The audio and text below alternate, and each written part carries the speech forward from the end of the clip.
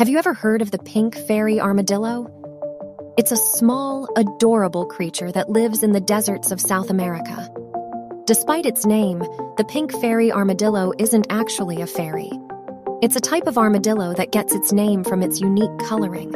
Its shell is a soft pink color, which makes it stand out from other armadillos. These armadillos are nocturnal and mostly active at night. They feed on insects and other small invertebrates. The pink fairy armadillo has a unique set of teeth that it uses to burrow into the ground. Its teeth are so sharp that they can easily penetrate the hard soil.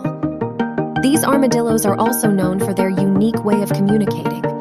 They make a variety of sounds, including clicks, whistles, and grunts, to communicate with each other. So next time you're out in the desert, keep an eye out for the pink fairy armadillo.